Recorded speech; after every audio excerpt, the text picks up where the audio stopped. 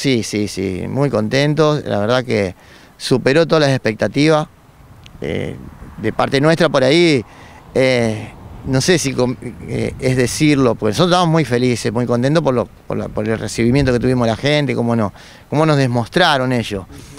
y después, así charlando con la gente y preguntándole, sí, estaban todos muy contentos y nosotros recontra contentos por, la cantidad de, gente que nos visitó.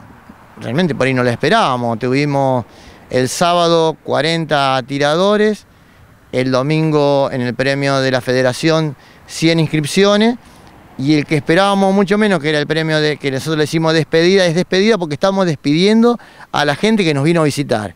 Que era, bueno, en alusión a este señor que fue directivo del club, que es Miguel Alberto Boneto, que decíamos, bueno, 40, 50 tiradores, no, nos sorprendieron con 82 tiradores más. Y bueno, eso es realmente lo que suma y lo que hace que, que esto tenga, sea exitoso. Bueno, veíamos un poco en, las imágenes que tomábamos eh, tiradores y, competidores de, distintos puntos, ¿eh? un poco lo que habíamos hablado la semana pasada. Sí, sí, sí, o sea, a ver, eh, Colonia Carolla, estamos lejos, Córdoba, bueno, después acá toda la zona, y de Venado Tuerto hasta Pergamino, ponele, Río Cuarto, o sea que sí, se movieron los tiradores, se movieron. Bueno, realmente eh, una linda jornada después de un año y medio. Eh, ¿cómo, ha sido el balance entre sábado y domingo? Eh, hubo una repartija de premios, imagino. ¿Alguno que ha quedado aquí en la ciudad o fueron todos repartidos para, para lo que es la zona y competidores de otros lados? Bueno, esa es la otra parte que también no, nos puso muy contentos. sábado se tira la Copa Challenger, una copa que hace un montón de años que se tira. La gana un tirador nuestro. Un tirador que la gana por tercera vez se la lleva a él porque estaba así estipulado en el reglamento. La gana él, el segundo de Corral de Busto, el tercero de Corral de Busto, o sea, Armando Fasardi, primer puesto, segundo David Girardi, ellos viven en Chañaladeado, pero están federados para nuestro club, y tercero Carlos Echevarne, muy conocido acá en el pueblo por café, eh, integrante de la comisión directiva, al cual le tenemos que agradecer un montón de cosas que estuvo haciendo por el club este, este último tiempo. Recontra merecido los tres primeros puestos de ellos. Domingo se tira eh, la Copa de la Federación, el premio de la Federación. Un tiro espectacular. Primer puesto, Alejandro Puccini, secretario de nuestro club. Bueno, después segundo puesto, un chico de, Colonia Carolla. Y tercer puesto, un amigo nuestro acá de Venado Tuerto, Ezequiel Ripoll. Así que... Completito el fin de semana. Eh, sí, sí. y bueno, se tira el premio de la tarde, este premio que yo te nombraba recién. Una definición terrible, un amigo acá de Marco Juárez, eh, Sergio eh, perdón, de Justiano Pose, Sergio Arduzo, un chico nuevo, Hernán Anino, no lo conocíamos, de acá de Montemaíz, y llega también Alejandro Puccini. Tiran un desempate ahí, ahí nos enteramos que este chico Anino era un principiante primera vez que participaba en un torneo, se reúnen los tiradores y en forma de deportiva le ceden el primer puesto a este chico porque realmente estiró espectacularmente bien y se lo merecía. Eso se utiliza mucho en nuestro, en nuestro, en nuestro deporte.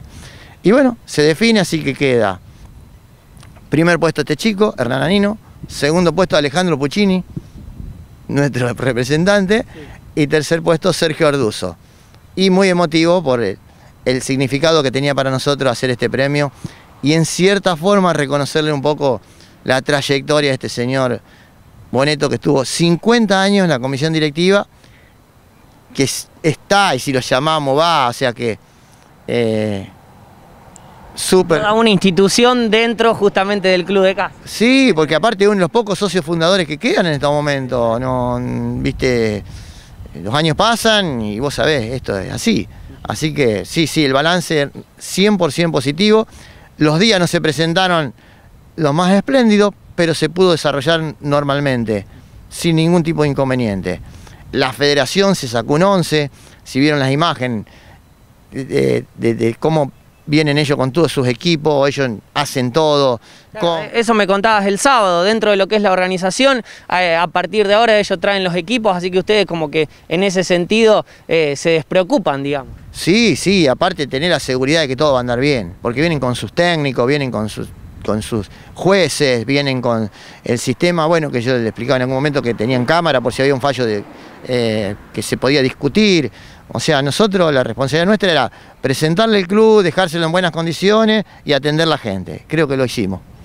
Eh, notaba esto, justamente me decís, bueno, un chico nuevo que, que ganó, esta variedad en cuanto a la edad, ¿eh? personas que ya se veían ex- experimentadas y algunos chicos jóvenes también. ¿Se da esta particularidad justamente de lo que es el, el rango etario, ¿eh? variado? Y no hay muchos chicos nuevos. Eso es lo que nos, por ahí nos preocupa mucho.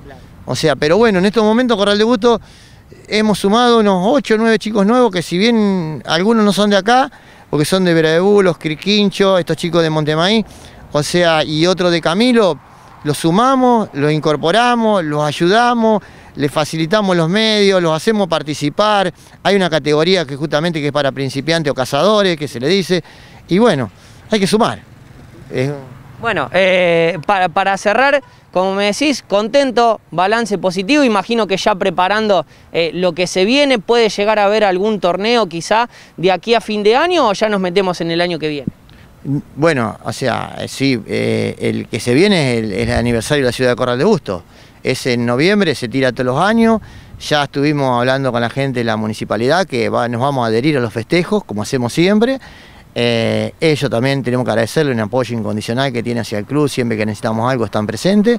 Eh, así que sí, sí, el próximo ya estamos, este, este viernes ya tenemos reunión con la gente que nos provee las hélices, ya, ya compramos todas las hélices para hacer el evento y bueno, ya nos ponemos a trabajar para eso, sí, sí.